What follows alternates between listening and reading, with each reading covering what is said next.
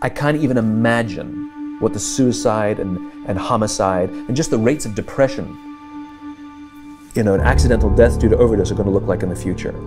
It's going to reach epidemic proportions. It's already, the, the, the, the statistics are already alarming, and yet nobody's sounding any alarm bells.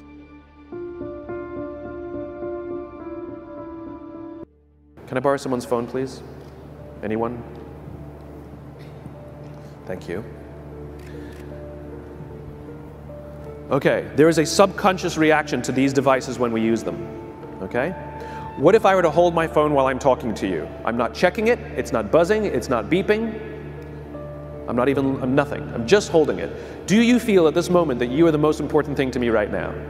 No, you do not because there is a subconscious reaction we have to the device. When it is out, it makes the people around us feel that they are less important.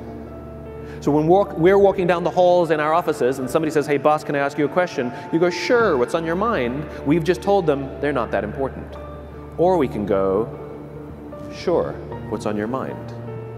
And if you don't have a pocket, find a shelf, put it on the shelf, come back and say, sure, what's on your mind?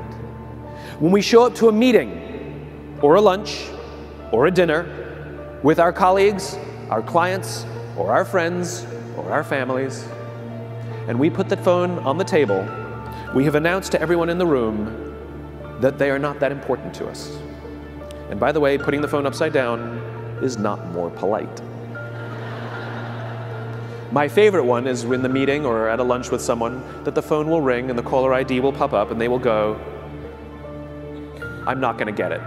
Oh, so magnanimous oh, I'm lucky to eat with you today. Or they could just put the damn thing away. You can tell how addicted we are. When somebody pulls out their phone when you're with them, how uncomfortable does that make us feel? You're walking down the street with someone, they pull their phone out. We feel stupid, so what do we do? We pull our phones out. We're so addicted. Somebody goes to the bathroom when we're at dinner, and what do we have to sit there by ourselves? God forbid we should look around the room for five minutes. We pull our phones out. Meetings, awful. What do we do when a meeting happens, right? Everybody's sitting waiting for the meeting to start. Bob's running a few minutes late. Bob's here? Okay, start the meeting. Do you know when relationships are built? All that in between time. Thank you very much. Parents have to intervene. We have to stop giving our kids free access to social media and, and, phones at young ages. They are not ready for it. Their minds cannot cope with the dopamine. Balance is fine. You can give a kid a phone, but they can't use it in their bedroom. They can't have it at the dinner table. They can't take it to school.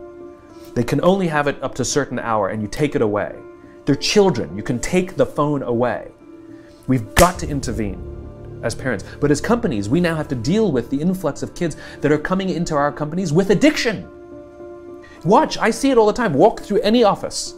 You'll see the older employees have their phones on the sides of their computers as they're working. You'll see the youngest employees have their phones face up in front of their keyboards between their arms as they're working. And this is how they work.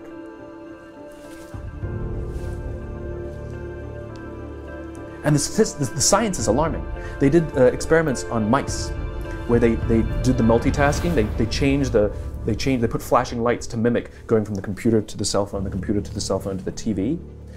The mice that were exposed to the changing lights, it took them three times longer to solve a maze than the mice that weren't, and the damage was permanent.